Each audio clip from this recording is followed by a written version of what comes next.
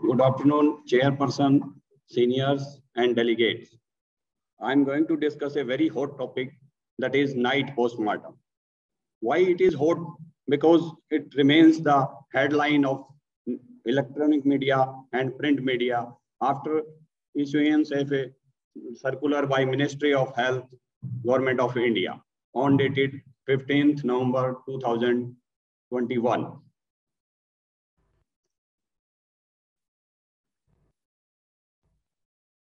The Union Health Ministry notifies new protocol for postmortem procedure.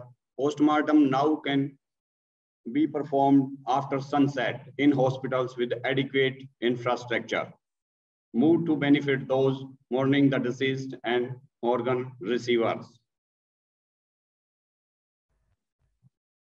Night postmortem. As per my view, as learned Dr. Dasari Harish sir discussed about the condition of the mortuaries that cannot tolerate even the day daytime autopsies it's not possible to conduct the night autopsy. As per my view, as far as possible, postmortem examination should be performed in daylight, not in artificial light.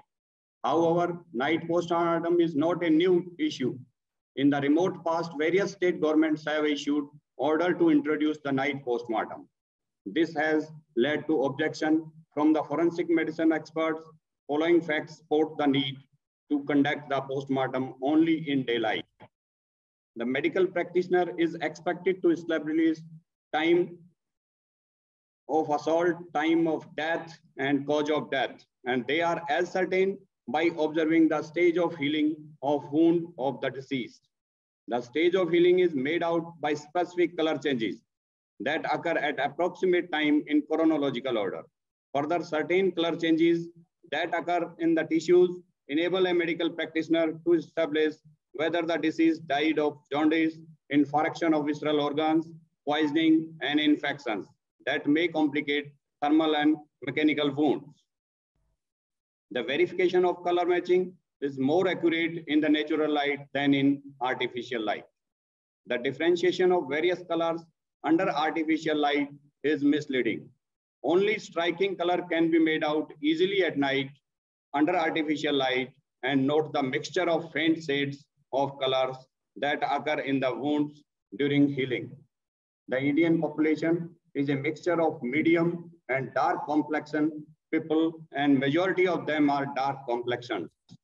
When an autopsy is performed at night under artificial light, it is difficult task to locate the contusion or bruise in dark complexion. Individuals, since the color of the skin masks the color of bruise, in addition, during postmortem examination, a bruise can be produced as a part of established postmortem artifacts, and it has to be distinguished from bruise sustained during life. It is argued in support of night postmortem that some countries, especially Scandinavian countries, postmortems are performed at night. However, it should be realized that in these countries, night darkness is only for a short time and they have prolonged twilight which is a good as good as sunlight that can distinguish the faint shades of mixture of colors. Further, even though the postmortem examination during daytime is conducted within mortuary with the aid of artificial light, it cannot be denied that natural light due to its pervasiveness enter through the window. In addition, when an autopsy is performed at night, the mix-up of dead bodies due to wrong identification of dead bodies by the relatives is a distinct possibility. Further, when an autopsy is performed on person who have died in gang wars, milling crowds would gather, creating a law and order problem and a state of delicate apprehension in the minds of the medical practitioners. This situation would only be worse at night. It may lead to law and order problem and wide mix-up of dead bodies in the mortuary.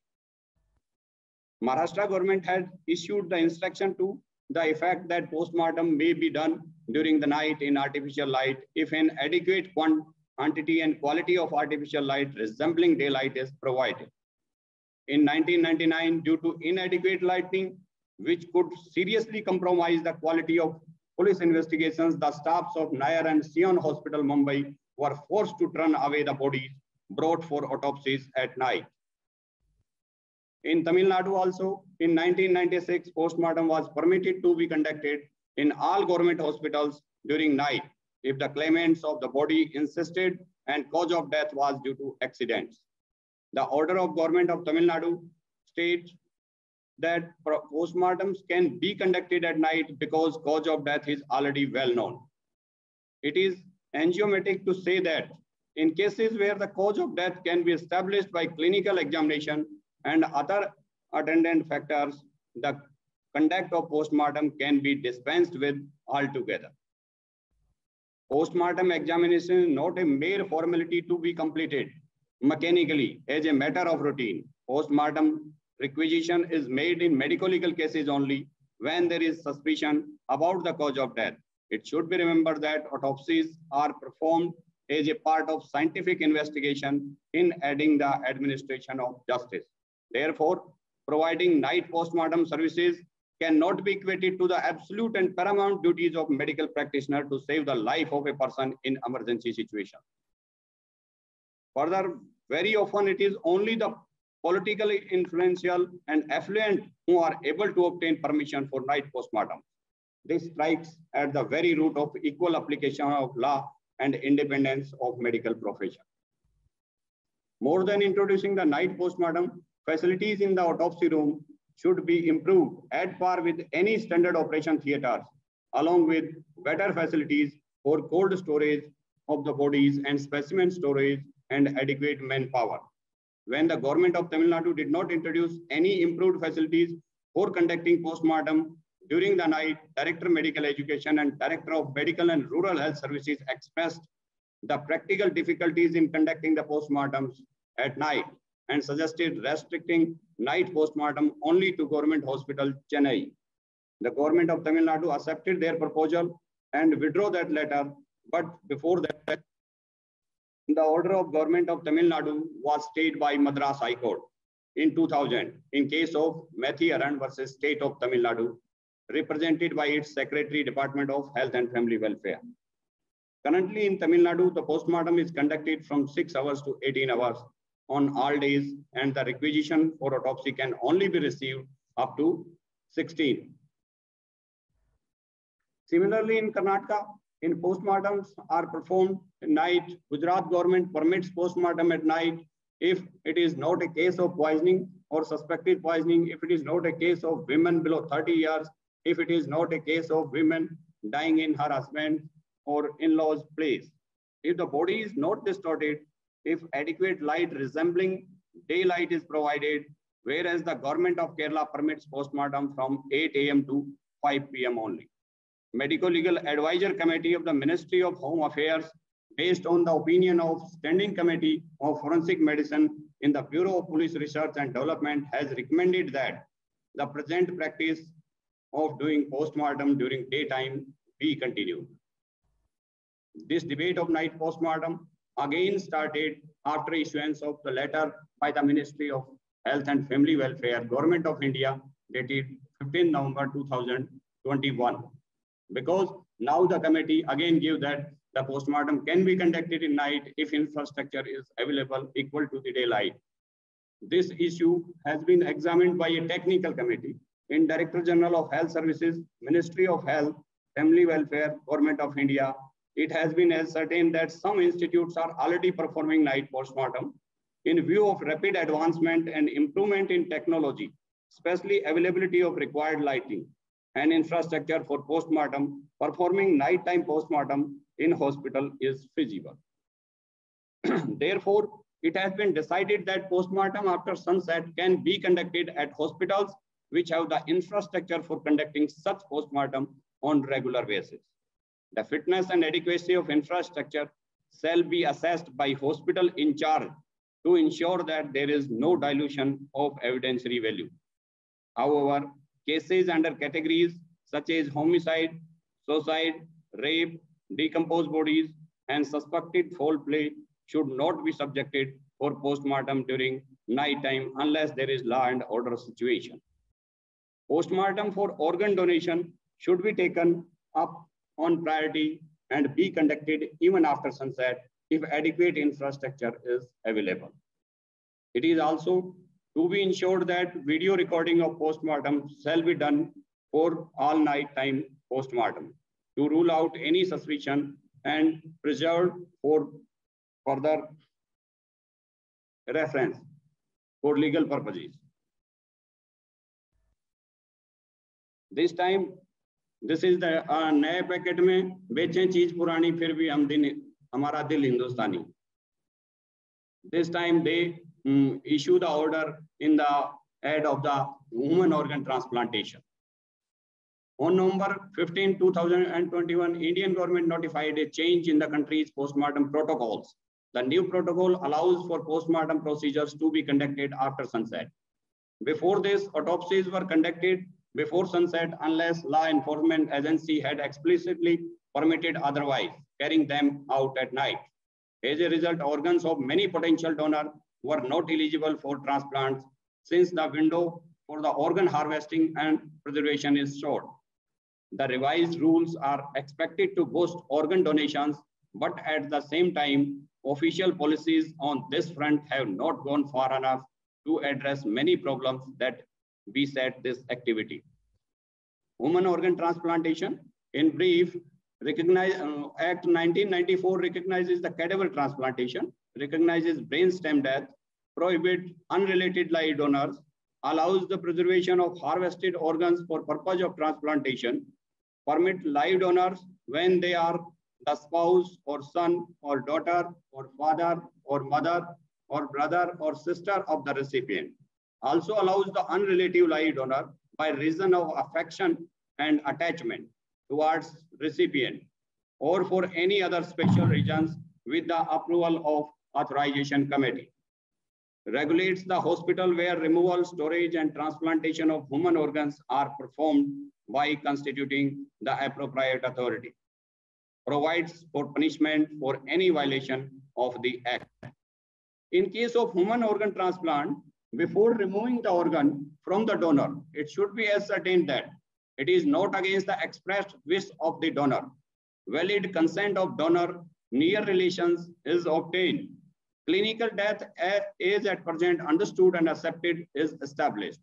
For cadaver it is desirable that in case of medico-legal cases or a possible post-mortem examination, no organs should be taken without a legal permission from the investigating officer. The deceased person's consent during his or her lifetime should have been given and or no wish to contrary to be expressed regarding organ donation. A positive consent of the next kin should be obtained and no other relative should be opposed the idea. The consent of the person lawfully in possession of the body has to be taken. In cadaver transplantation, most often the organs are harvested from victims of road traffic accidents and other such medical legal cases. In such situation, the custodian of the bodies of the victim is the state, which has a duty to establish the cause of death.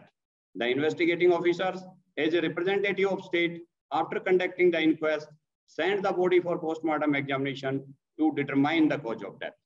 When the body is handed over to the postmortem examination, it is the autopsy surgeon who decides which are the organs to be retrieved, retained for visceral examination and histopathological examination to fix the cause of death.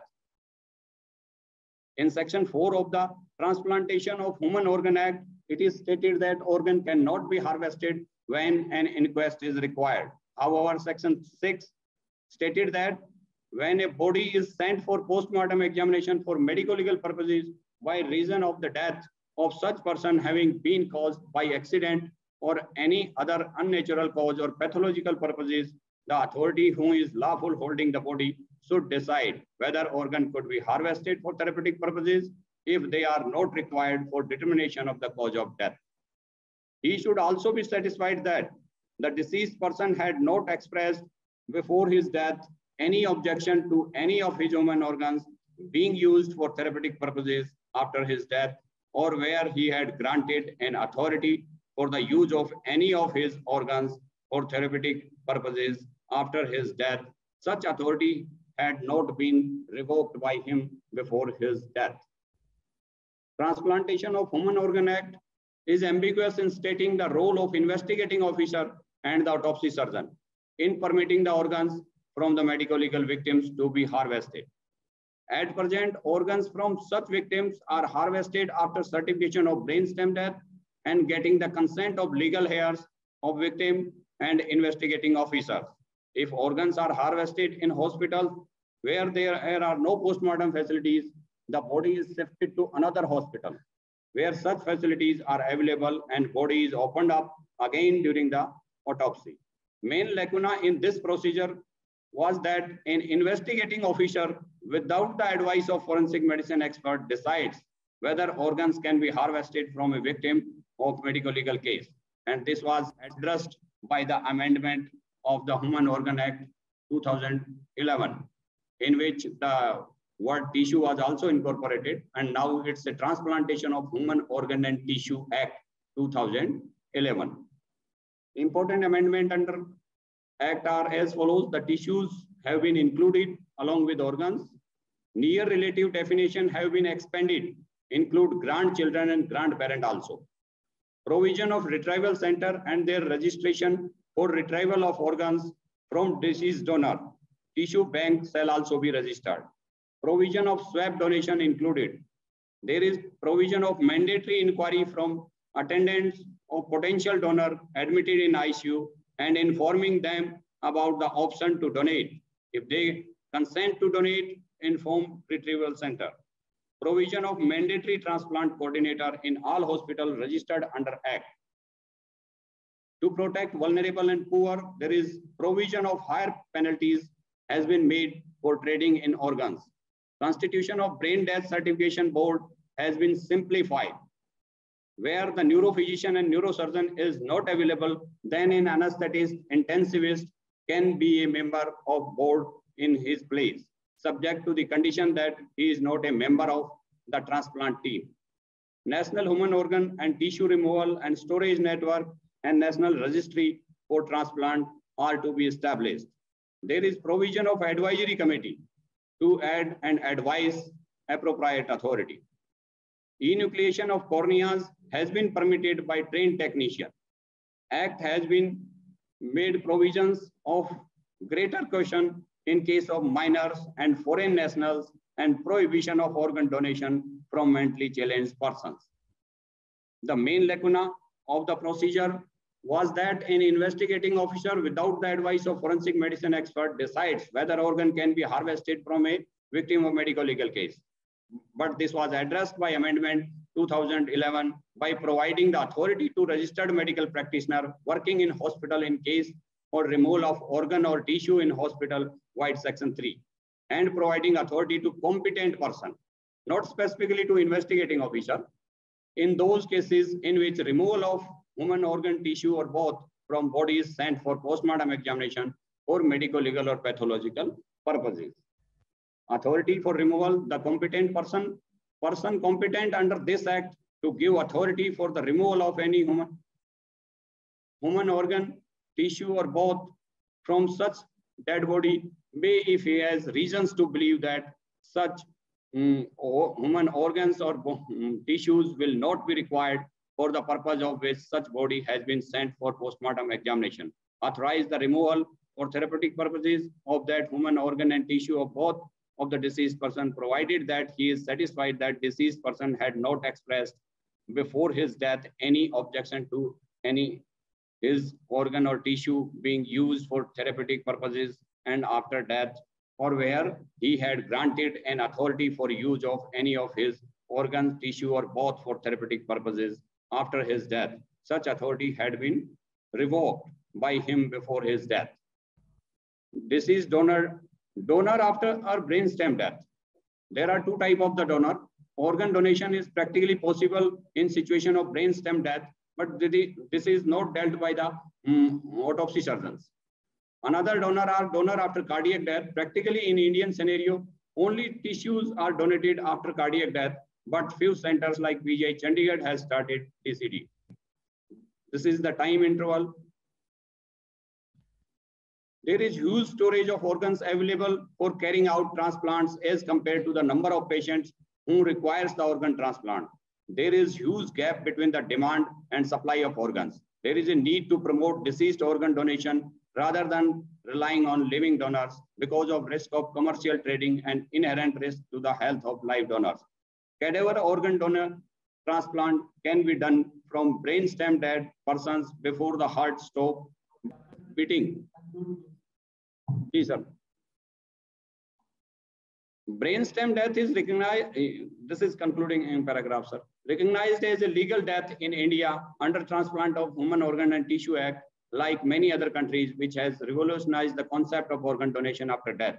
After natural cardiac death, only few organ or tissues can be donated, like cornea, bone, skin, and blood vessels. Whereas after brainstem death, 37 different organs can be donated.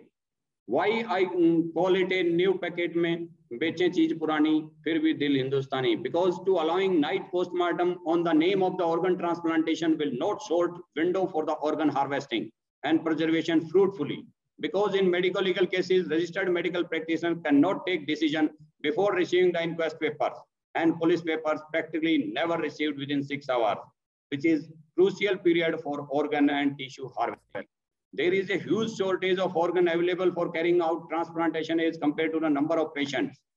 There is gap, but circular issued on dated 15th November 2021 for conduction of night autopsy will not fill up the gap between demand and supply of the organs.